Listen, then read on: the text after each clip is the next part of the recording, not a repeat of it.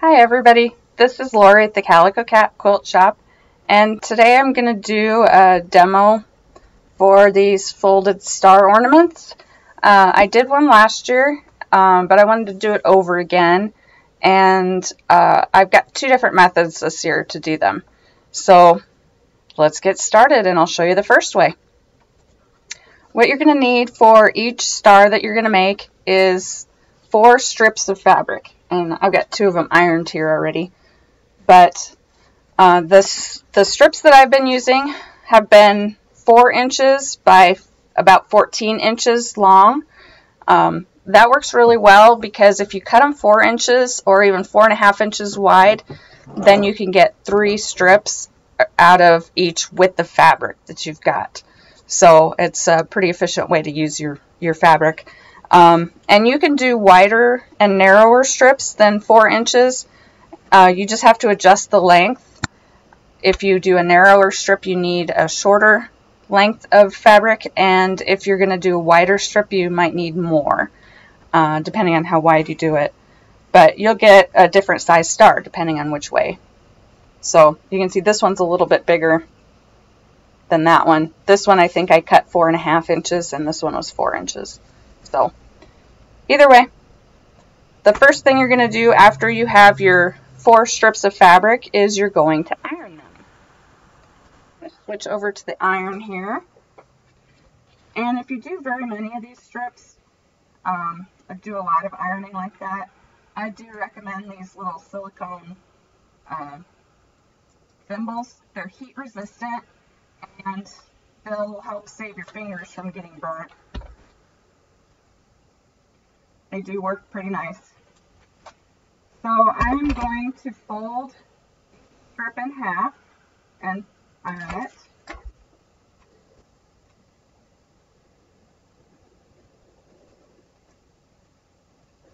And then after I get it folded in half, iron out of the so you can see, I'm going to bring the edge, the long edge, right up close. Here's my fold and I'm bringing it close to the edge. It doesn't need to be on the edge. And really what I want is just a clean edge to work with. Then I'm going to flip it around and do the same thing on the other side. Fold it almost up to the middle.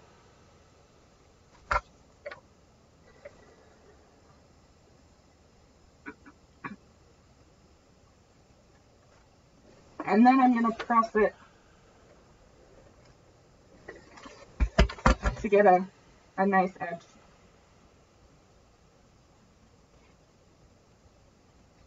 And I'm going to do the same thing with all four strips.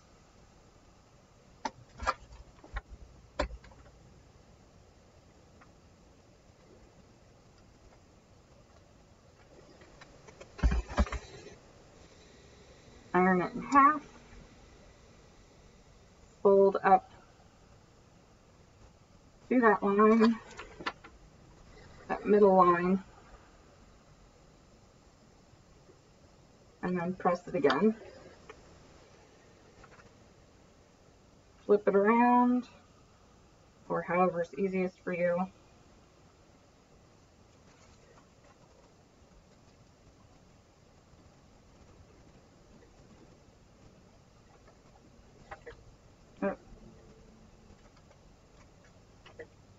And then press it flat.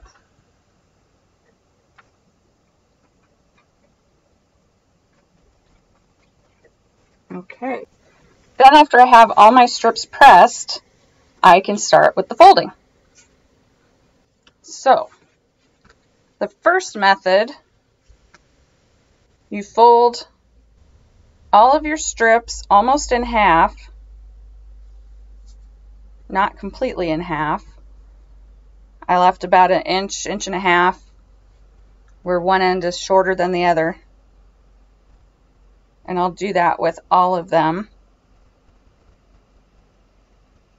And I also have to decide if I have different colors, which ones I want where.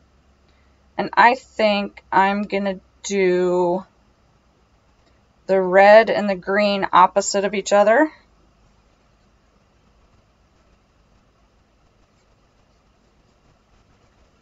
And the blue and the silver opposite each other. So just folding all of them with one end shorter than the other.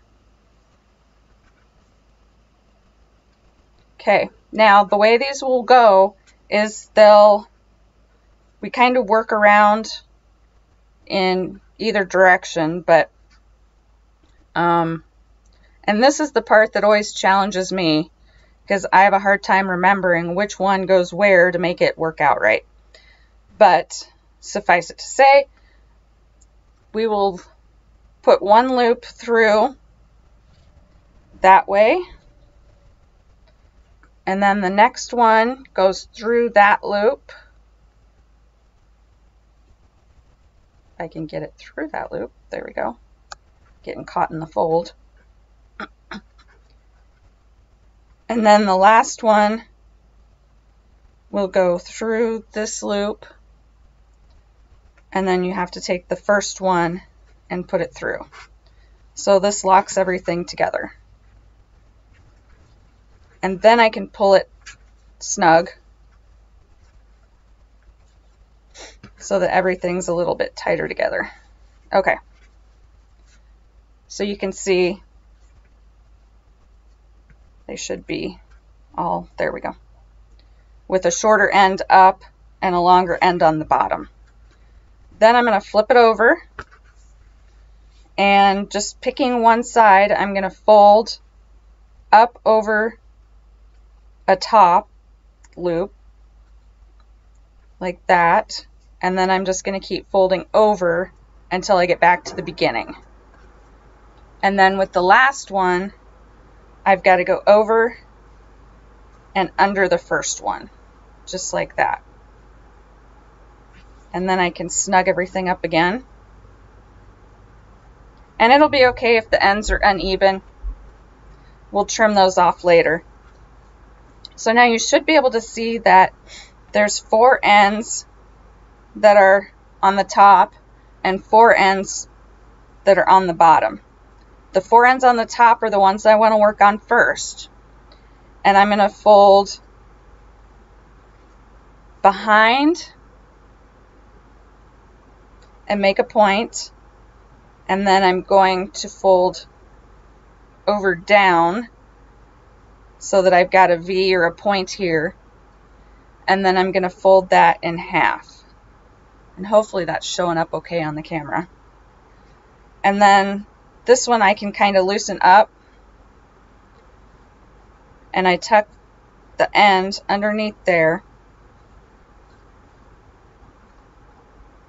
Like that. And then this end I can trim either before I tuck it in or after.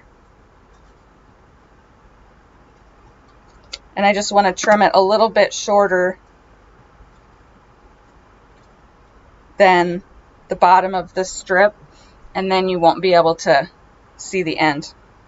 Now if I wanted to make these permanent and make sure they didn't ever come out what I would do is put a little glue in here and put a little glue underneath in there so that they wouldn't come apart. And if I used hot glue, then that sets up fast enough. You don't have to worry about it. If you're going to use like regular school glue or something, um, then I would put a clip on there to hold it until the glue dries. So with that one done, I'm going to rotate and go to my next one and do the same thing. Go behind and fold it. And then over to make a point. Fold that in half. Loosen this one up a little bit. Tuck it in and then pull that tight. And that works really well until I get to the last one. So behind, over, fold it in half. This one I can see I'm going to have some extra, so I can go ahead and clip that off now.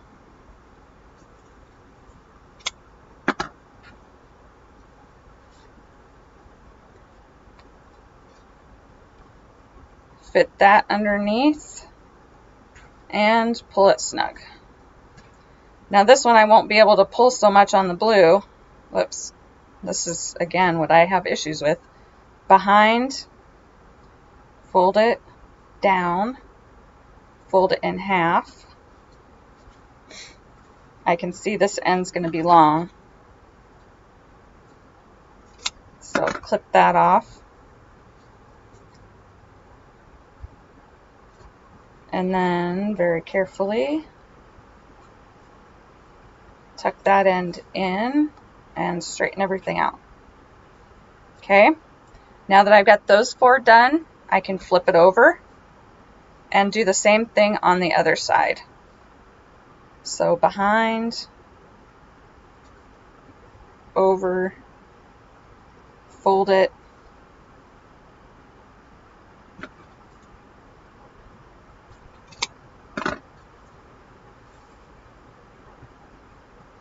and tuck.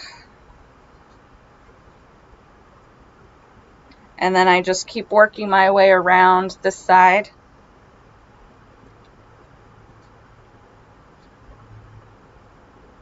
Got to trim quite a bit off that one.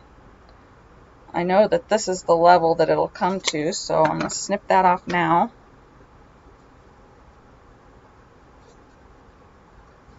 And tuck it in.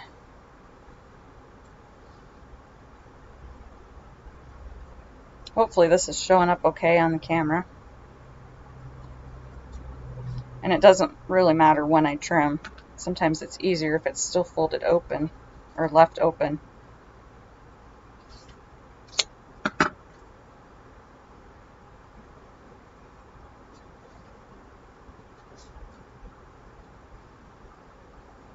Work that one in.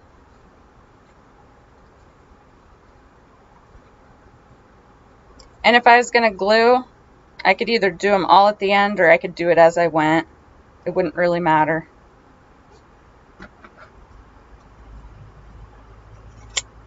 So snip the end.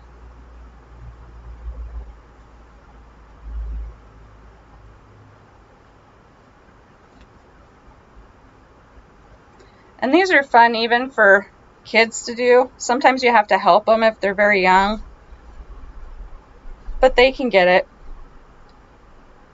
You just might have to help them with which direction they're going when. Okay, so there's my star.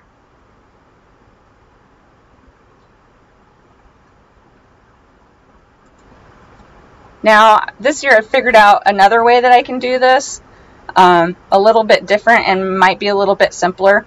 The beginning folding is different, and to me, it's simpler for my brain to comprehend it and understand what I'm doing. So let's try that and we'll see how it works. And I start out the same. I've got four strips and this time I'm going to lay them kind of in the order I want them and I'm just going to weave like you would weave anything else. Over and under and over and under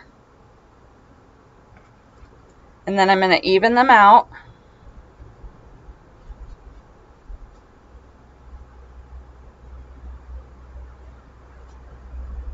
And it's okay if there's a little bit of space right now. Now, whichever one is on the underneath, I'm going to fold over the top. And I'm going to go all the way around like I did before. So now, let's see, this one is on the top and this is going to come out to an over under. Then the last one, I fold over and go under the first one.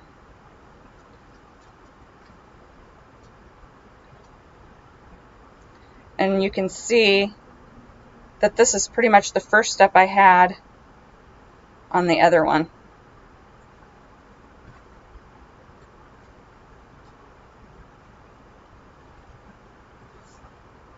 Then I'm going to flip it over and do the same thing. Go over one that's on top, go over, over, And then this one has to go over and under the first one. And then I can snug everything up.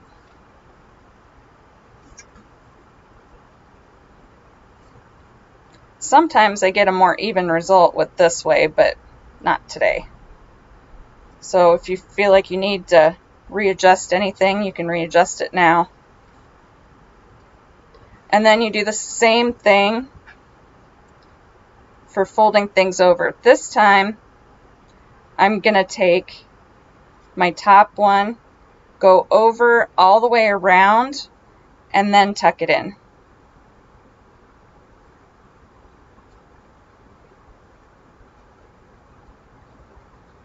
And I've got them on opposite sides as I had last time, but that's okay. However it works. And then if I was going to glue, all I need to glue is just under here. Just a little dot under there because there's nothing in the middle here. Okay, then move to the next one. And this time I'm going over the top, wrapping all the way around, and then tucking in.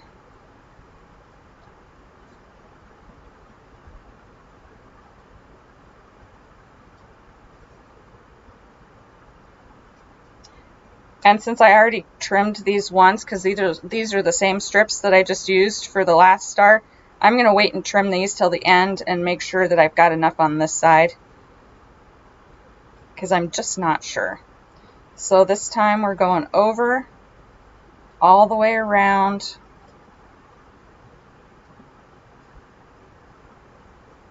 and tucking. Gives you a little bit different look, but it's still the same thing and sometimes it's simpler to to remember how to do it this way.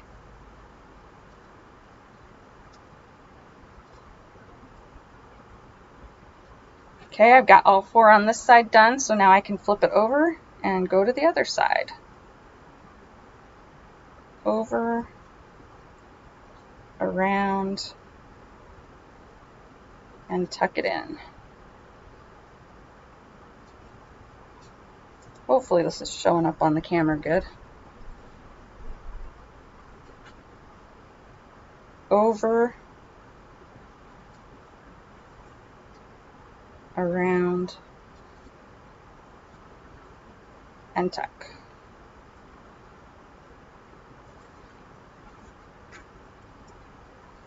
Over,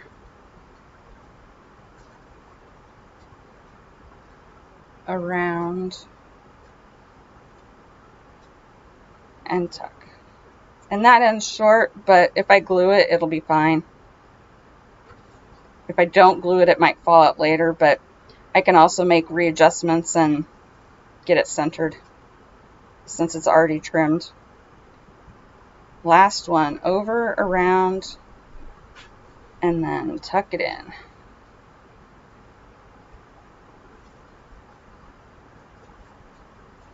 Okay, and if I wanted to, I could press this and get it a little bit, um, little bit firmer press. Get my corners pressed a little tighter.